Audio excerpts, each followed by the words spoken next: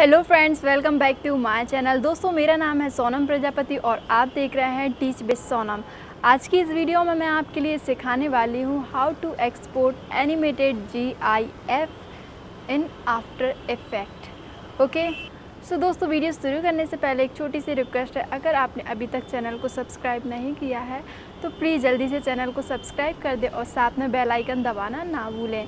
तो फ्रेंड चलिए वीडियो को शुरू करते हैं।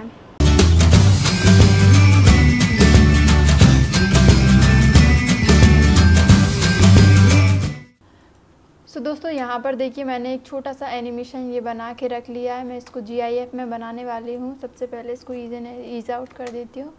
ये देखिए, अभी मैं इसको चेंज करती हूँ, इसकी कॉम की वैल्यू को।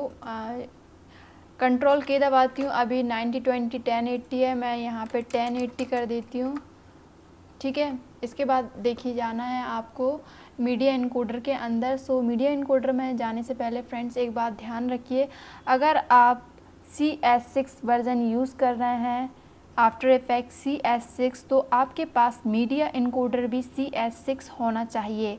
फ़िलहाल मैं यूज़ कर रही हूँ आफ्टर इफ़ेक्ट 2019 तो मेरे पास भी एडोप इनकोडर का 2019 वर्ज़न है।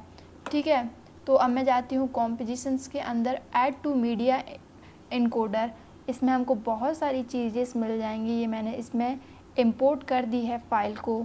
तो बस अब कुछ ही सेकंड में ये ओपन होने वाली है। इसके बाद देखिए, यहाँ पे अभी ये वाला वर्जन सिलेक्ट मैं इस पर क्लिक करती हूँ। क्लिक करने के बाद आपको कुछ ऐसा दिखाई देगा। तो अभी मैं इसको कैंसिल करती हूँ। एक्चुअली ये जो मेरा पुराना फ्रेम है, मैं इसको डिलीट कर देती हूँ। तो अभी जो नई फ्रेम आई है, हमने इंपोर्ट किया, वो ये वाली है। मैं इस पर क्लिक करती हूँ। ये देखिए मैंने इस पर क्लिक किया।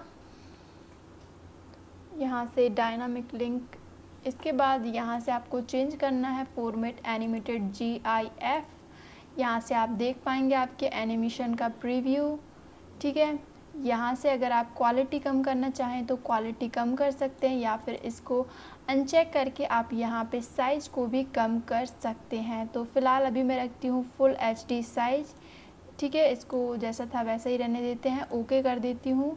और इसके बाद गैस देखिए, ये है कस्टम तो ये वही है, ठीक है? इसके बाद आपको बताना है सेव कहाँ करना है।